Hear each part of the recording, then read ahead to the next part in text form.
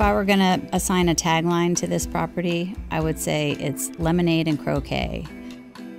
The typical evening scene here is one of young kids riding bicycles or scooters around, maybe a dog off leash running across the street, and neighbors gathering outside. Welcome to 5869 Chabot Court. This house is unique because, frankly, every square inch is just gorgeous. There's no room that doesn't show up as beautifully as the next. And these homeowners have done such a thoughtful job renovating in such beautiful moments like the beautiful nickel kitchen sink that just has a heavy, well made feeling in your hand. Or that gorgeous, sumptuous wallpaper in the master bedroom that just has a intrigue and sense of mystery and drama. This house has been thoughtfully cared for and thoughtfully improved, and at this point, it's just ready for the next owner to enjoy.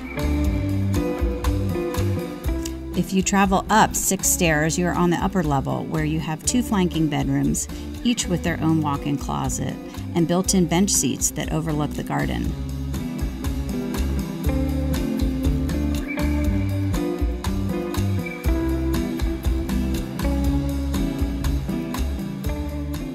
They share a hallway bathroom that is a gorgeous blend of white and marble tile and gleaming chrome bath fixtures. From the kitchen, you can travel down six steps to the lower level and on your way passing a very sweet walk in pantry. At the bottom, you're in an open space that is a combination of a home office, a wet bar, and a family room with the perfect wall for the television. And now, for the most exciting part of this property, let's check out the backyard.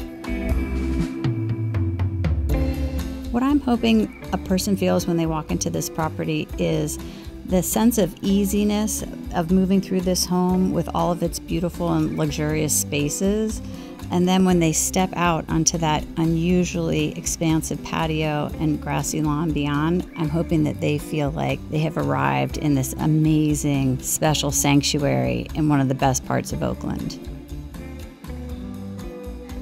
The fact that this house has such an expansive, huge patio out to this enormous, lush green lawn, it's so unusual for Rockridge. In fact, if I didn't know any better, I'd think I was in Lafayette right now.